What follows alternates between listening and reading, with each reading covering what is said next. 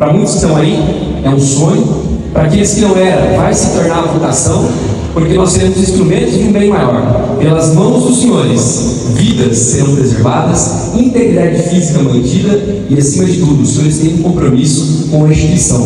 Porque antes dos senhores chegarem, outros carregaram o piano. E agora os senhores integrarão com humildade, com apreço, fazendo o melhor. Que Deus abençoe nesse estágio probatório, que fique só os bons. E aqueles que são ruins não passem estágio probatório. Que palavra forte é? Sim, porque nós não podemos ser covardes entre nós. Hoje, cada vez mais o crime organizado tem aliciado agentes de segurança pública.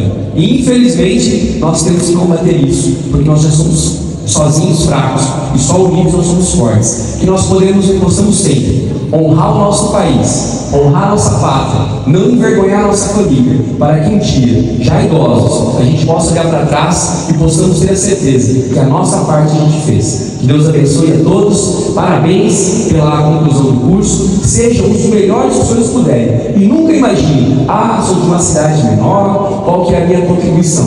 A vida dos senhores salvarem, os senhores serão gigantes, os senhores serão um mundo, e pelas nossas mãos nós vamos fazer muito. Nunca se esqueçam disso. Deus é com cada um dos senhores, sempre será. A decisão de estar com Ele é de cada um de nós. Muito obrigado a todos, parabéns.